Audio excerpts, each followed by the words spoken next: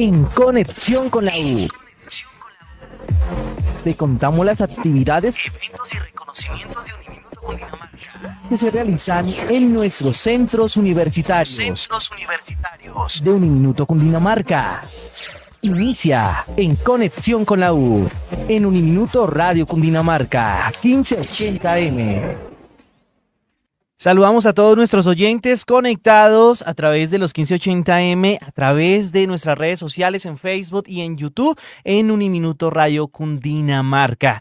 En conexión con la U, algo muy especial y es que del 6 al 11 de mayo en Uniminuto Cundinamarca se está llevando a cabo la Semana Académica de Proyección Social. Y es así como damos la bienvenida a nuestros invitados, a Cindy Rojas, eh, docente de emprendimiento del Centro Universitario Madrid, quien hoy está en compañía pues de grandes invitados. Cindy, ¿cómo estás? Buenos días. Hola André, muy buenos días. Bueno, a todos nuestros oyentes el día de hoy, muchas gracias por estar conectados acá, muy felices de aperturar nuestra semana de proyección social y pues qué bueno que con emprendimiento aquí arrancamos nuestra semana, muy contenta con estos invitados fabulosos que tenemos hoy.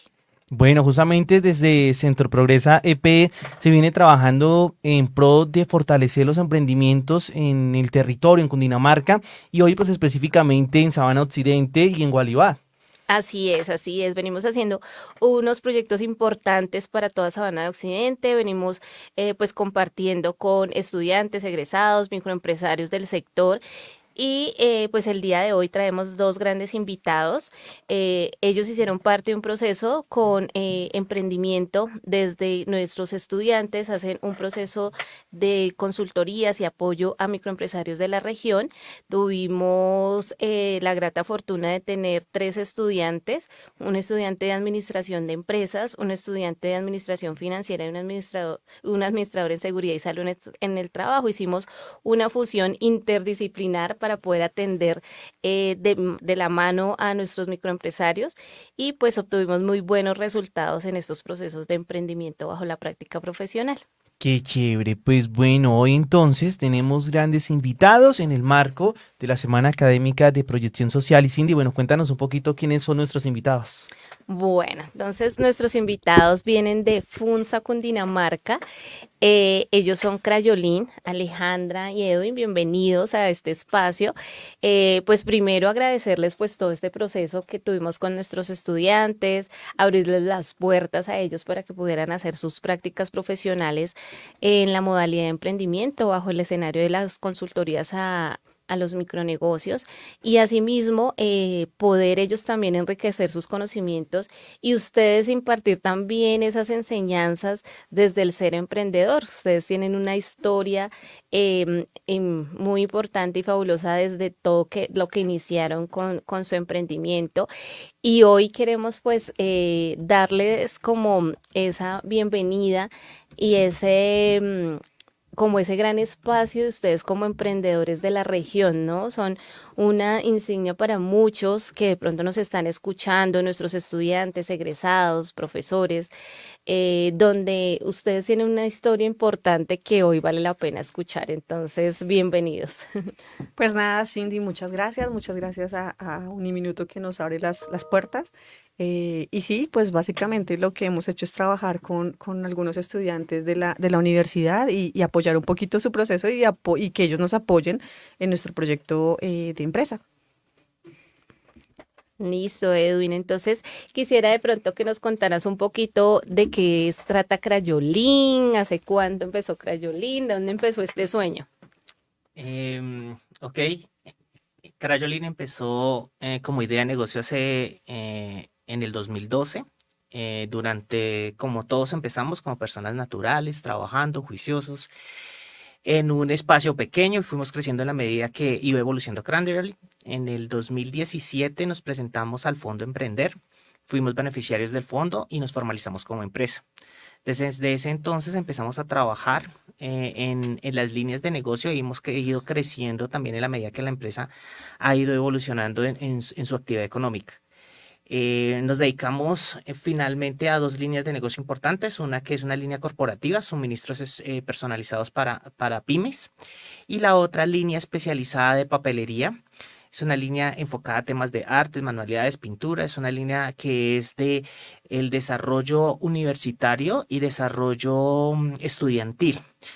Eh, frente al modelo de negocio, es un modelo de negocio tradicional, eh, que hemos tratado de romperle ese paradigma que existe detrás de, detrás de él, que las papelerías eh, son ese lugar donde encuentras eh, miscelánea papelería, entonces donde encuentras absolutamente muchas cosas, hasta algunas insólitas para hacer un tipo de negocio de papelería. Entonces digamos que hemos quitado un poco y nos hemos especializado. Entonces eh, eh, principalmente somos papelería, hemos, eh, eso nos ha permitido también enfocar nuestro tipo de cliente, llegarle a una a un grupo poblacional que está creciendo después de lo que surgió de la pandemia, en las manualidades, en las artes, en la pintura y lo que viene en tendencia de todo lo que están manejando las universidades, toda la economía naranja, todo el tema del emprendimiento en las casas, todo el desarrollo. Entonces estamos suministrando esos materiales y esos elementos. Estamos ubicados en Funza y eh, eh, atendemos eh, toda la sabana occidente. Hemos venido eh, a través de nuestras eh, redes sociales, página web, llegando a, lugares donde nos ha parecido chistoso el tema que ya hemos llegado a Leticia, a la Amazonas, a la Guajira, entonces uno dice, y, hemos enviado y empieza uno a ver que eh, no es solamente la región, sino muchos otros lugares.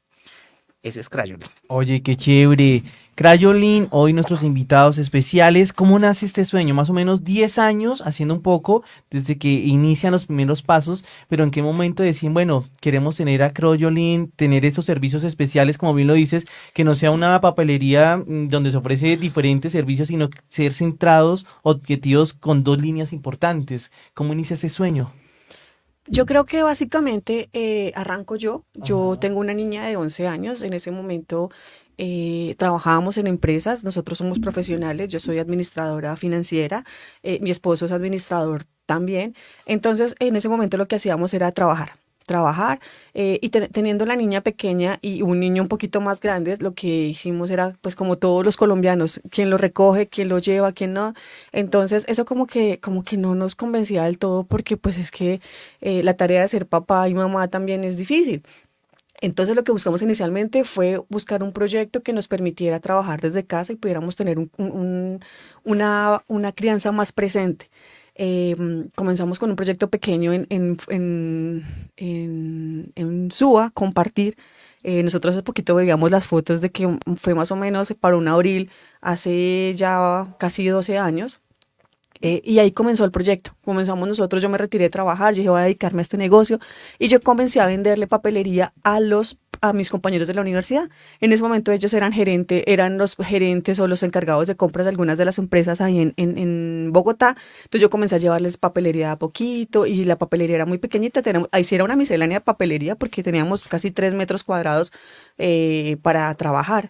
Eh, pero finalmente ahí lo que pasó fue que la, eh, la papelería donde estábamos no la pidieron. Dijimos, bueno, vámonos mm, tenemos que irnos para otro lugar. Bogotá está saturado de papelerías, vamos a buscar un, sector donde podamos trabajar. Sí. Y por eso llegamos a Funza. En Funza, Cundinamarca, arrendamos una casa y comenzamos con nuestro proyecto de papelería. En ese momento pues estaba más, se utilizaban más los café internet, entonces efectivamente tenemos café internet, fotocopias.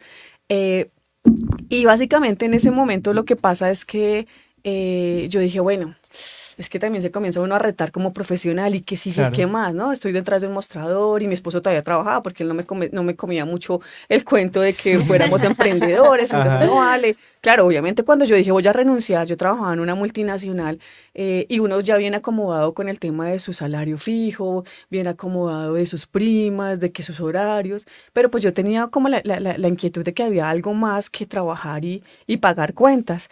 Entonces em, yo ahí dije, no, ese, proyecto tiene que crecer de alguna manera, comenzó a mirar y por internet, nosotros somos egresados del SENA, cuando nos contaban de Fondo Emprender, pues decíamos, ay, eso no existe, eso es mentira, ¿a quién le van a dar plata por, por, por un proyecto? Eh, sin embargo, nosotros nos acercamos a, a, a, la oficina de emprendimiento de, de Mosquera eh, y contamos nuestro proyecto. Eh, ahí fuimos recibidos de verdad como, como de una manera muy amigable y nos dijeron, listo, lo que toca hacer es esto. En ese toca hacer nos demoramos casi, casi 14 meses elaborando nuestro proyecto para Fondo Emprender. Fondo Emprender nos dio más forma, Fondo Emprender nos dio comenzar, nos comenzó a ver, a potencializar el proyecto, a tratar de que fueran proyectos innovadores, que, fue, aportar, que no solo eh, fuera un proyecto, digamos, de intercambio de mercancía con dinero, sino que fuera algo que aportara a la comunidad. Efectivamente, nosotros nos presentamos a Fondo Emprender, eh, fuimos rechazados dos veces, seguimos como en la tarea porque ya, digamos que en mi cabeza estaba que Fondo Emprender tenía que ir a la primera opción para que mi papelería creciera. En ese momento nos llamábamos crayolas. Eh, cuando ya somos beneficiarios de Fondo Emprender, nos dan un capital semilla que nos permite consolidar un poco más el proyecto, que nos permite ver que se pueden hacer más cosas, eh, que obviamente ya había un capital para invertir en vitrinas, en mercancía, en cambiarlo, y fue cuando nos convertimos en la papelería especializada. Ahí arranca, ahí arranca, eh, eso fue más o menos a mediados del 2017 y bueno, ahí como que comienza como la tarea, allá Edwin en ese momento se retiró de trabajar y se fue a trabajar conmigo. Comenzamos a trabajar los dos en sacar adelante este proyecto porque finalmente em, no es tan fácil. Es difícil, eh, tiene demanda de mucho conocimiento, de mucha estrategia, eh, y ahí es donde juega también otra parte, ¿no? Digamos que nosotros siempre hemos dicho que lo fácil de emprender a veces es la plata. Lo difícil comienza es cuando tú estás jugando como con esas emociones, con ese temperamento, con eso que si vas a lograrlo, con lo que se puede, eh, con, digamos, cosas como las que pasan como una pandemia que nadie se lo esperaba, eso no está en los libros de administración. Entonces, ahí comienzan a revaluar muchas cosas, ¿no? Y, bueno, básicamente ese es como, como los inicios realmente de nuestro proyecto. Ok, bueno, y, ya que hablas de, todos esos retos y, y de toda esta eh, situaciones que, que, han venido pasando. Eh, bueno, quisiera preguntarles dentro de esa experiencia, eh, ¿qué ha sido como ese lo más positivo que, que han vivido? O sea, lo que han logrado, pues ya nos han contado, pero como eso de que, ay, este, este es el check que definitivamente digo, esto ya me lleva a asegurarme y confirmarme que soy un emprendedor ya tenemos el cheque. Em, sí, digamos que el, tema es que hay, es, es, eh, como administradores de empresas, porque también soy administrador de empresas, mm, creo que el logro más fuerte que he tenido de la manera de profesional es, es, es el de ser emprendedor.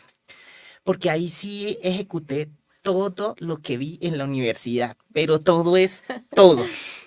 Entonces ahí es donde yo digo que ahí sí vale la pena la estrategia, que sí vale la el marketing, que sí sabe uno de compras, que sí sabe uno de costos, que sí sabe uno de inventarios, que sí sabe de contabilidad, que sí sabe, o sea, ahí es donde uno eh, empieza como a chulear y decir, pucha, fue la carrera que sí necesitaba para yo desempeñarme en lo que estoy haciendo, entonces yo chuleé ahí ese checklist.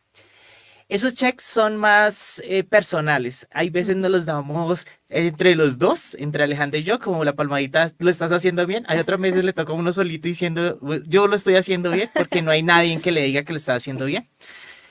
Pero en, en, en, de las cosas y de los logros que ha tenido Crayolin durante todo, eh, desde que inició, fue que primero eh, la idea de negocio eh, es una idea de negocio tradicional totalmente, esto no es que se lo hayan inventado, todo el mundo lo realiza, pero el valor agregado que hemos tenido es que le hemos impreso nuestra eh, manera de ser, la, toda la experiencia que adquirimos en el mundo corporativo y que adicional, pues nosotros vimos que siempre creímos que las papelerías es un mundo de, lleno de arte y a una papelería llega muchas personas a crear muchas cosas. Entonces digamos que teníamos que, hacer algo que ayudara también a las, personas. Entonces es un modelo de negocio bonito, es un check ahí.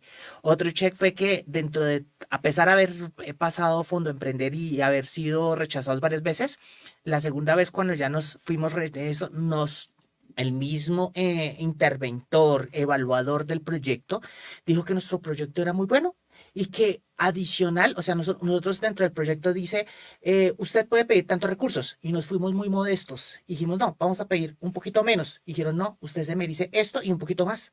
Y nos mm. dieron, eso no se lo habían dado a nadie, inclusive dentro del mismo SENA, en, el momento de que eh, nosotros fuimos postulados a través del SENA de Mosquera, en el lugar de emprendimiento del SENA hicieron, esto no se lo han dado a nadie en ninguna otra oportunidad. O sea, eso fue un, pues nosotros lo vimos como un checklist pequeño, pero entonces fue que el proyecto sí validaba.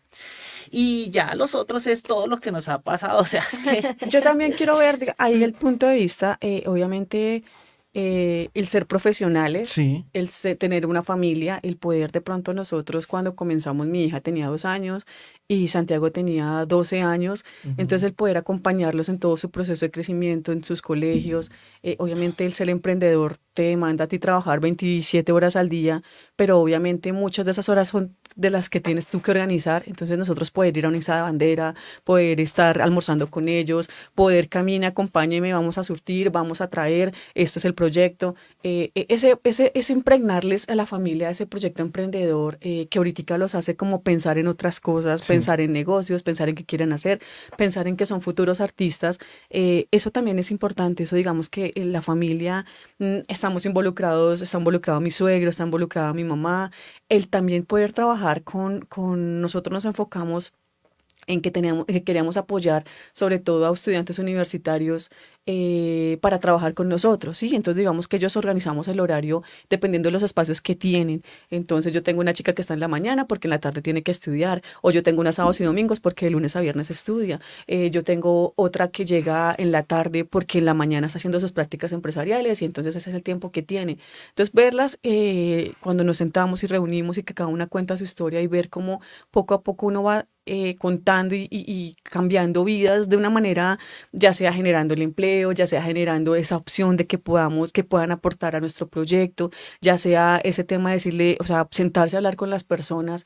Eh, adicional, otra cosa que me parece que a mí me encanta es poder trabajar con algunas fundaciones. Nosotros trabajamos con, con Em, con sectores vulnerables como son los recicladores del municipio y el poder tener la celebración de Navidad con ellos, el poder nosotros meterlo. Nosotros tenemos un paquete, un programa súper lindo en la papelería que, que yo quisiera que fuera masivo y lo conociera todo el mundo y es que la gente lleva su botella llena de plástico y por cada botella que lleva nosotros les, llevamos, les entregamos 200 puntos que son después redimidos en la tienda. Entonces, eh, y cuando la gente llega ya, o sea, yo quisiera que eso fuera masivo, pero los pocos que tenemos ahí, como dice el, el, TikTok, mis 10 fans, que llegan a cambiar y, eh, y, llevar fotocopias y llevar cuadernos y llevar útiles escolares cambiados por plásticos y que después el plástico se lo llevan nuestros amigos recicladores y están haciendo em, ladrillos de plástico, pues ver que esa cadena es que se está moviendo en la economía, eh, eso me parece súper importante, ¿saben? O sea, creo que uno va transformando de a poquito eh, algo, algo, y se transforma también uno por dentro. Entonces,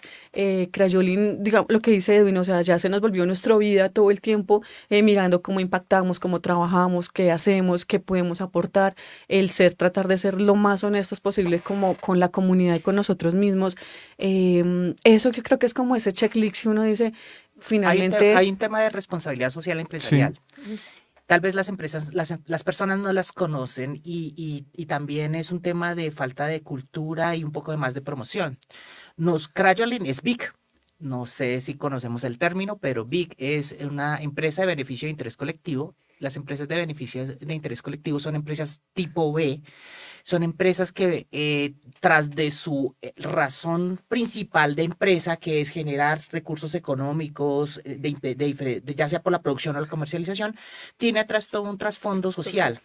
nosotros somos BIC ya desde hace tres años, desde el 2003. Nosotros venimos dentro de todo el programa BIC que eh, tenemos varias, eh, una, dos, tres, cinco líneas de, de, de enfoque del, del, de la de la responsabilidad social empresarial. Ese, ese enfoque es uno, el tema medioambiental, como lo nombraba Alejandra. Dos, el tema, eh, el tema de responsabilidad con los stakeholders, con los terceros, o sea, tener una relación con mis proveedores, con mis, eh, con mis empleados. Nosotros, por ejemplo, eh, desde que nos formamos como empresa y cuando estábamos estudiando, no encontrábamos lugares donde pudiéramos trabajar y seguir estudiando. Muchos de los estudiantes, estudiantes estudian de día. Los horarios a veces son re locos. Lo digo por experiencia. Entonces nosotros tenemos un programa de contratar estudiantes universitarios y ajustamos por horas, cubrimos nuestros horarios les damos un horario flexible con un salario justo en un lugar donde pueden llegar a aprender muy cerca de su casa, o sea, una cantidad de beneficios adicionales que les permite tener algo de recursos que muchas veces el universitario no es que necesite tener el trabajo todo completo, pero sí necesita tener, empezar a tener experiencia, sí necesita empezar a aterrizar temas eh, de su universidad y también necesita algo para no estarle pidiendo a sus padres, etcétera, etcétera.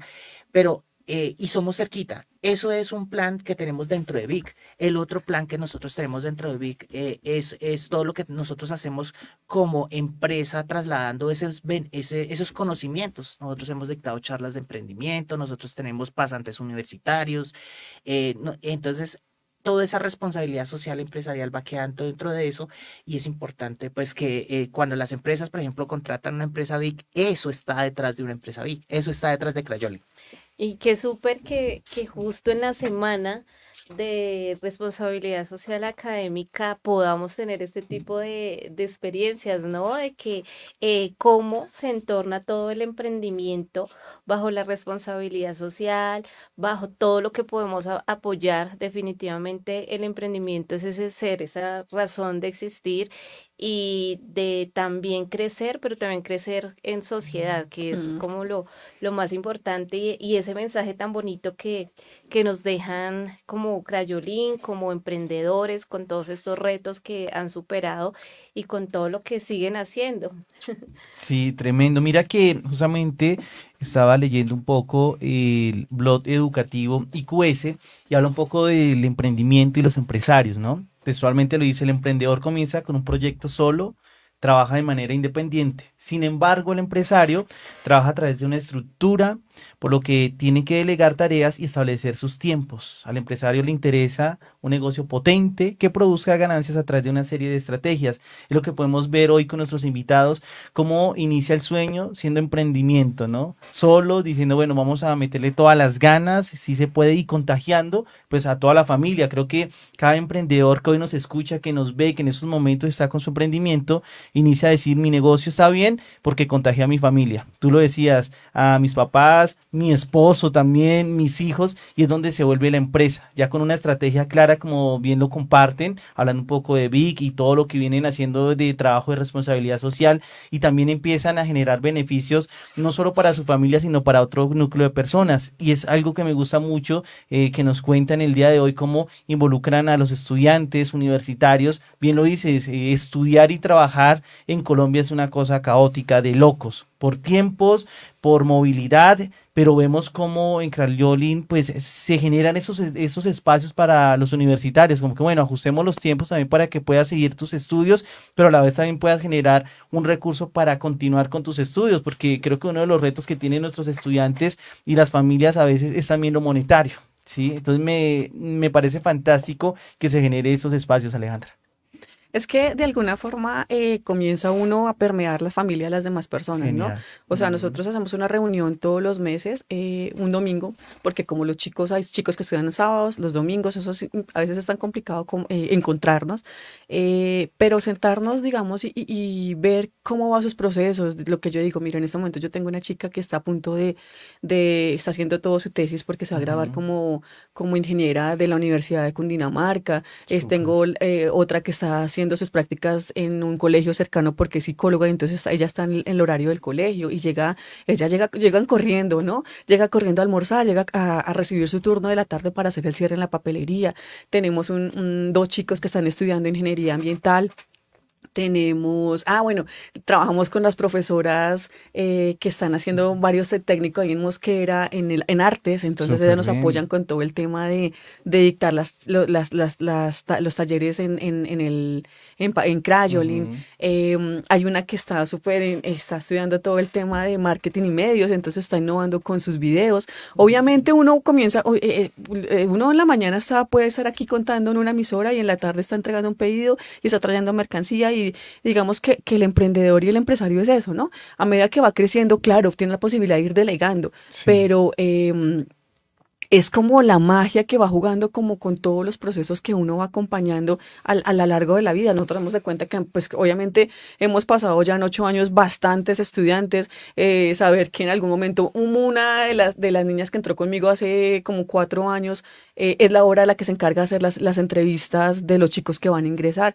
O sea, y vamos creando familia, ¿no? O sea, y me parece tan, tan o sea, lo que decía Edwin, esa responsabilidad social de contar nuestras historias, porque aún, ahorita, mira Alejandra, es que tengo este proyecto, necesito que me ayudes a costear, ¿qué te parece esto? ¿Cómo lo puedo hacer? ¿Cuál puede ser el proveedor? Entonces se va volviendo como que realmente el conocimiento no se va quedando, el conocimiento se va trasladando de, pues obviamente ya pues hablamos de generación en generación porque es que estamos hablando de chicos que tienen 22, 23 años, entonces están arrancando como sus proyectos, están terminando sus carreras, están decidiendo qué van a hacer como con esa vida laboral, entonces poder poder apoyarlos y poder trabajar con ellos, pues es, es como esas satisfacciones y son esos checks que realmente lo que decía Edwin, no son esas palmaditas que no necesitamos que nadie diga, oye, qué bien hecho, sino que de alguna forma uno dice, vale la pena, o sea, se la está jugando uno por esto y, y, pues ahí queda como esa, como esa tranquilidad, ¿no? De que nos hubiera gustado que en algún momento eh, de pronto hubiera existido esa, esa información, ¿saben? Genial, bueno, cuenten, ya que estamos hablando un poco de universitarios, ¿cómo fue la experiencia pues de tener nuestros estudiantes de Uniminuto en Crayolin y los que siguen llegando, obviamente, ese trabajo que se viene adelantando con ellos? ¿Cómo ha sido esa experiencia? Pues de alguna forma eh, los universitarios eh, tienen cada una idea diferente del mundo, ¿no? Cuando uno está en las aulas, uno ve las cosas desde los libros. Entonces, de pronto, eh, cuando uno se sienta a hablar con ellos y comienzan a decir, ah, es que esto sí es cierto lo que sea el profesor, ah, es que aquí puedo aplicar esto. eran tres historias diferentes donde cada uno nos contaba, donde cada uno tenía una carrera diferente, donde cada uno veía, ve, o sea, todos ven las empresas eh, desde un punto de vista diferente, ¿no? Entonces el que está, el que es el financiero, pues él está enfocado en temas de números, el que está enfocado hacia el tema de salud ocupacional, pues él solo está viendo riesgos, eh, y así sucesivamente como que todos van trabajando, y entonces cuando uno le comienza a contar, cuando trabajan con las pymes, pues se dan cuenta que o sea, es más fácil poderlo ver eh, y poderlo aplicar más rápido, ¿sí? Pues fue una experiencia interesante donde ellos de alguna forma aportaban lo que tenían, eh, se llevaron también conocimientos, eh, nos hicieron propuestas, hay propuestas que obviamente pues uno ya en el camino sabe que son irreales y no son tan fáciles de cumplir, pero va viendo uno la, la perspectiva y ellos van cambiando, como decir, enfocándose y aterrizando un poquito más eh, sus proyectos personales.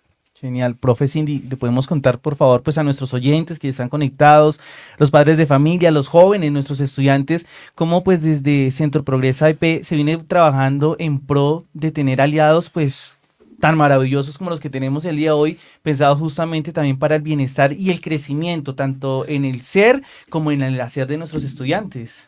Sí, claro que sí. Mira, nosotros en Centro Progresa EP, eh, en, bajo la unidad de emprendimiento, en este instrumento nosotros manejamos unos escenarios. Está el escenario del emprendimiento productivo, que son aquellos estudiantes que eh, vienen desarrollando como su ruta de emprendimiento eh, desde, sus, eh, desde su carrera, tienen sus iniciativas propias. Ellos a su vez, la idea es que hagan en su práctica profesional, desarrollen esa idea que vienen ejecutando y en una opción de grado, pues ya terminen ya estructurando bien su proyecto y lo, consoliden a través de asistencias técnicas también de acompañamiento que tenemos en, en, en Centro Progresa. Y asimismo eh, sacamos como, como este proyecto desde la etapa de ideación hasta que se logren ya eh, conformar y ya puedan de tomar una decisión si vamos a hacer el proceso ya de legalización y eso y nosotros hacemos todo el acompañamiento. Existe otro escenario que es el que estamos manejando ahorita con las consultorías a mi pyme, sí. que es el de las consultorías a mi pyme, que es algo que también eh, nace con los micronegocios de la región, que también ha sido un proyecto muy interesante, un proyecto muy lindo donde nuestros estudiantes tienen esa vocación desde el emprendimiento, pero definitivamente no tienen una idea propia. Entonces lo que buscamos es que ellos bajen sus conocimientos eh, académicos a microempresarios y los apoyen en consultorías o en generación de propuestas para mejorar estos negocios. Entonces buscamos eso, que ellos bajo estos escenarios eh, reales, porque es que eso es lo que buscamos, que nuestro estudiante salga a un escenario real, salga a un escenario real a un microempresario, escuche esas historias de vida a través de lo que él adquirió académicamente, también pueda entregar esas propuestas a los microempresarios y desarrollen estrategias, desarrollen proyectos que mañana casualmente en, nuestro día pitch van a, a sustentar y nos van a contar esas experiencias que tuvieron con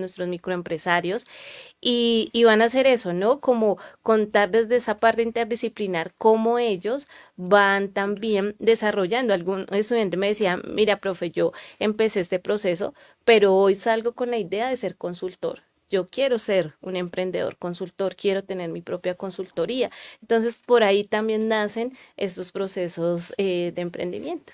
Bueno, hablando un poquito de los sueños y para ir finalizando, Alejandra, Edwin, ¿cuál es ese sueño en esos momentos con Crayolin? Compartamos por favor con los oyentes esos sueños, esa visión que se tiene para Crayolin. Edwin. eh, Aquí la visionaria es Alejandra. la soñadora, la soñadora. Sí, entonces digamos que Alejandra es la que sueña y yo soy el que la aterrizo. Entonces hay muchas cosas que así ha funcionado eh, Crayolina. Hay veces ella se inventa unas cosas, yo le digo, pero miércoles que eso no se puede, espere, o cómo lo hacemos, o bueno, muéstrame el paso a paso para entenderlo, porque pues sí, o sea, es, es, de esas ideas que uno va surgiendo y se echa globos y dice, uy, yo quisiera, sí, pero ¿cómo? O sea, ya aterricémoslo, a ver, en papel, o, cuál es el paso uno para poderlo hacer. Crayolin está enfocada que, eh, digamos que en este punto, a la manera como yo lo veo desde la expectativa que tengo yo, porque los dos, a pesar, tenemos dos ideas totalmente distintas eh, frente a, a, las expectativas de Crayolin, aunque el fin es el mismo.